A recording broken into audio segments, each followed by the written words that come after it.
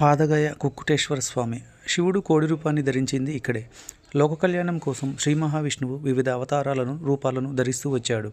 ఆయా క్షేత్రాలను దర్శించినప్పుడు ఆ విశేషాలను గుర్తు చేసుకోవడం జరుగుతూ ఉంటుంది.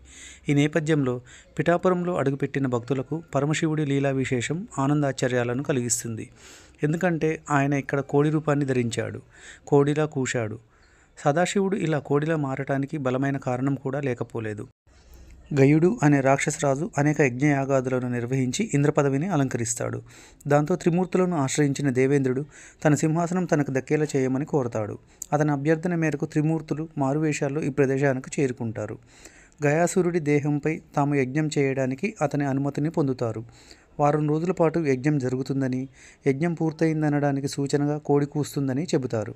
ఈలోగా అతను కదిలితే సంహరించవలసి వస్తుందని అంటారు. అలా త్రిమూర్తులు ఆరంభించిన యజ్ఞం పూర్తి కావస్తున్న గయుడు కదలడు. దాంతో ఆయన కదిలేలా చేసి సంహరించక తప్పదని భావించిన పరమశివుడు కోడి రూపాన్ని ధరించి కోడిలా కూస్తాడు. యజ్ఞం పూర్తయిందని భావించిన గయుడు కదలగానే అతన్ని సంహరిస్తాడు. ఆ సందర్భంలోనే త్రిమూర్తులు గయుడికి అనేక వరాలను ప్రసాదిస్తారు. గయుడి అభ్యర్థన మేరకే పరమశివుడు లింగ రూపంలో ఇక్కడ ఆవిర్భవిస్తాడు. సదాశివుడు కోడి రూపాన్ని ధరించిన కారణంగా ఆయన ఇక్కడ కుకుటేశ్వర స్వామిగా పూజాభిషేకాలు అందుకుంటూ ఉంటాడు. గయుడికి త్రిమూర్తులు ఇచ్చిన వరం ఫలితంగానే ఈ క్షేత్రం పాదగయగా ప్రసిద్ధి చెందుతుంది.